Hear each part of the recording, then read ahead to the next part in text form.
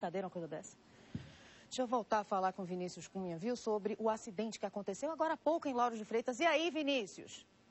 Olha, Daniela, nós voltamos aqui a falar ao vivo através do nosso link móvel de Lauro de Freitas. Esse acidente aconteceu por volta de 5 e meia da manhã.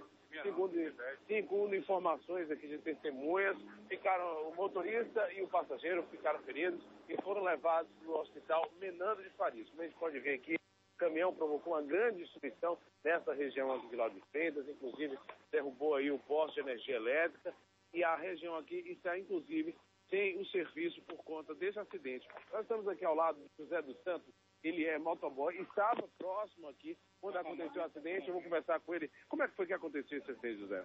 Mas por volta das 5 e 10 da manhã, a gente veio fazer exame aqui na CEMOL, estacionamos a moto no estacionamento.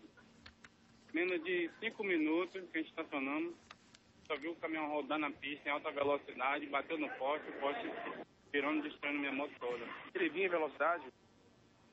No momento chovia, José? Chovia, tá chovendo no momento. Então provavelmente ele deve ter derrapado na É, pista. Rodou na pista e bateu no poste. Na hora você falou que tinha, tinha moto aí, a gente vê as imagens. Tinha, tinha, um- tinha três motos. Uhum. A que foi mais estragada foi a minha casa. Foi um susto grande, né? Muito grande, a gente pensou até que tenta seco, o caminhão tinha entrado para dentro do estacionamento. Na hora ia passando alguém andando ou não? Não, não, na hora não tinha passando ninguém andando, não foi logo cedo. Ah, ok. Muito obrigado, José. Pois é, Daniela, por muito pouco esse acidente não foi mais grave. Graças aí ao horário, era mais cedo, não tinha muito movimento. Mas, como a gente pode ver, a destruição aqui foi grande, destruiu um poste. As motos que estavam paradas aqui na calçada também ficaram destruídas. E aí agora é hora de contabilizar os prejuízos. E Estou mo- agora há pouco aqui com o policial rodoviário estadual aqui, que está fazendo a ocorrência, informou que, felizmente, o motorista e o passageiro tiveram ferimentos leves e no hospital Fernando de Paris.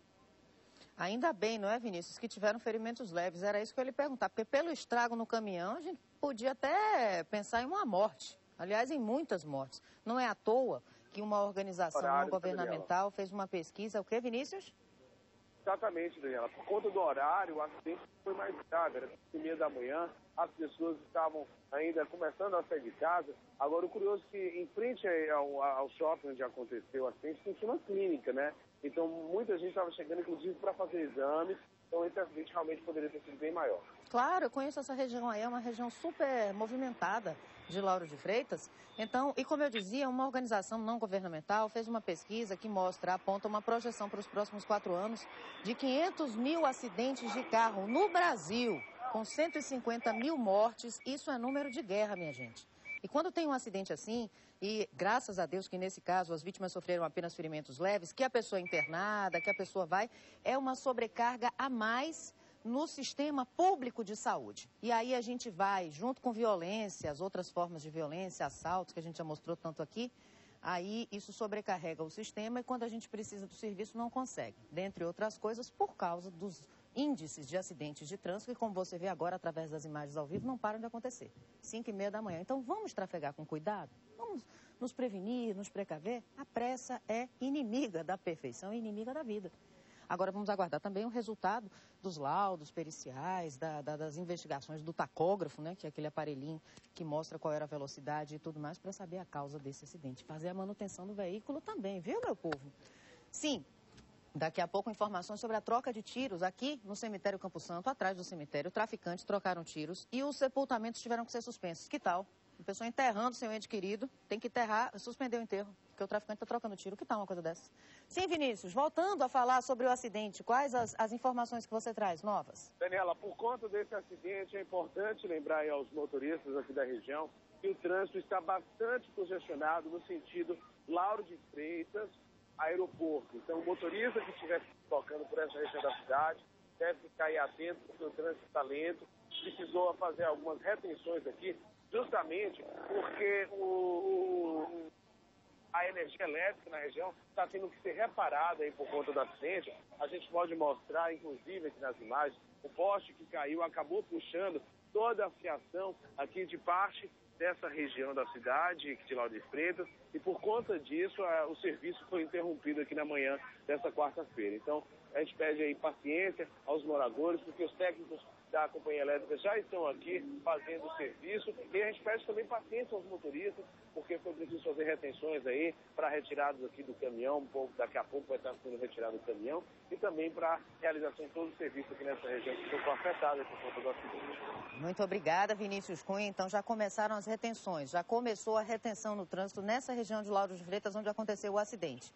Quem vai para Lauro de Freitas nesse momento, atenção, olha o acidente gravíssimo que aconteceu na região. Agora são 7 horas e 42 minutos. Se puder evitar a região, por favor, faça isso para não pegar o congestionamento, até porque os técnicos da Coelba estão restabelecendo, fazendo os conselhos para restabelecer o fornecimento de energia elétrica. E se faltar luz, uh, paciência, paciência, porque o motivo foi esse acidente. Agora, uh, eu queria falar sobre a troca de tiros. Eu fico impressionada, rapaz, imagine os parentes, todo mundo triste, os familiares, a pessoa lá sendo sepultada, enterrada, uma troca de tiros entre traficantes. Aconteceu ontem, atrás do cemitério Campo Santo, bairro da Federação, fica perto aqui da TV, aqui em Salvador. Por causa do tiroteio, sepultamentos foram paralisados para a segurança dos familiares e dos amigos presentes nos enterros, imagine. Só depois que os tiros cessaram, as cerimônias puderam ser retomadas. Veja detalhes na reportagem.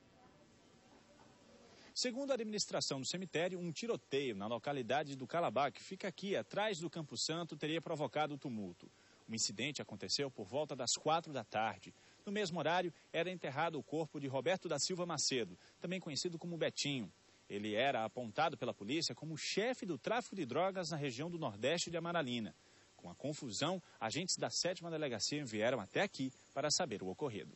A sétima foi informada de que é, poderia haver um confronto entre traficantes de duas facções, do Calabar e do Alto das Pombas, por conta de um, um marginal que estaria, estaria sendo é, enterrado na tarde de hoje.